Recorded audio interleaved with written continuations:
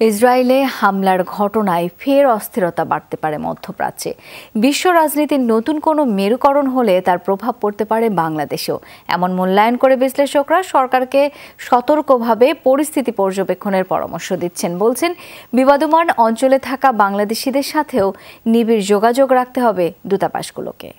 Sandalina so, রূপচর্চায় আভিজাত্য।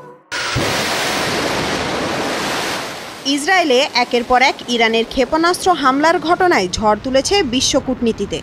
মূলত Hezbollah প্রধান হাসান নসরুল্লাহর হত্যার জন্যই ইরানের এই কঠোর প্রতিক্রিয়া বলে ধারণা। ইসরায়েলের গণমাধ্যম বলছে, ইরানের একশো আশিটি মিসাইলে হতাহত হয়নি তেমন। তারপরও নতুন করে যুদ্ধের সংখ্যা অনেকেরই। আর তাই ইরান ইসরায়েল যুদ্ধের প্রভাব নিয়ে চলছে নানা সমীকরণ, হিসেব নিকেশ। নিরাপত্তা বিশ্লেষকরা বলছেন, ইরানের মিসাইল আয়রন ডোম দিয়ে ঠেকিয়ে দেয় তেমন ক্ষয়ক্ষতির মুখে পড়তে হয়নি ইসরায়েলকে। তবে ইসরায়েলের মিত্র, বিশেষ করে যুক্তরাষ্ট্র, কি প্রতিক্রিয়া দেখায় সেটির দিকে তাকিয়ে পুরো বিশ্ব।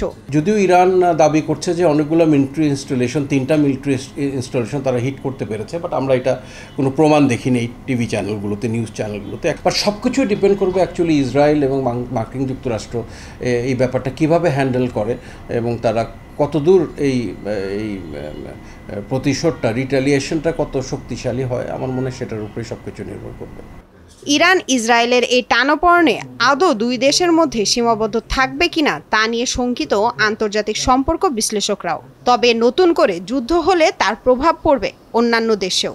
ইরান সংযুক্ত হওয়ার বিপদটা হচ্ছে যে মার্কিন যুক্তরাষ্ট্র এখানে ইসরায়েলকে প্রোটেকশন বা সমর্থন দিচ্ছে। তো তার অর্থ দাঁড়াচ্ছে যে এই এলাকায় বড় ধরনের একটা রিজিওনাল বা আঞ্চলিক যুদ্ধ শুরু হওয়ার একটা আশঙ্কা দেখা যাচ্ছে। যুদ্ধ যাতে ছড়িয়ে না পড়ে, তার জন্যে যেটুকু ভয়েস রেজ করা যায়, সেটুকু আমরা রেজ করতে পারি। কর্মী ভাইরা যারা আছে ভাই বোনরা যারা আছেন, তাদের নিরাপত্তা নিশ্চিত করার জন্যে মিশনগুলোকে আমরা নির্দেশ পাঠাতে পারি। বিশ্লেষকরা মনে করছেন নতুন কোনো মেরুকরণ হলে মধ্যপ্রাচ্যের উত্তেজনার বলি হতে পারে বাংলাদেশও। বিশেষ করে জ্বালানি আমদানিকারক দেশগুলোর ঝুঁকির মাত্রা অনেক বেশি। এই পোলারাইজেশনের ক্ষেত্রে বাংলাদেশের বৈদেশিক নীতিতে নিশ্চিতভাবে একটু প্রেসার আসবে। তবে ইমিডিয়েট ক্ষেত্রে যদি প্রেসার আসে, সেই প্রেশারের জায়গাটা হবে জ্বালানি ক্ষেত্র। আমি মনে করি ইন্টারিম গভর্নমেন্টের কাছ থেকে এক ধরনের স্টেটমেন্ট যাওয়া, যে সকল পক্ষের মধ্যে শান্তি এবং সকল পক্ষের মধ্যে রিস্ট্রেইন জরুরি এবং সেটা যে বৈশ্বিক অর্থনীতি, জ্বালানি এবং আন্তর্জাতিক রাজনীতির জন্য গুরুত্বপূর্ণ, এটা আমার মনে হয় বাংলাদেশ সরকারের স্টেটমেন্টে থাকা উচিত।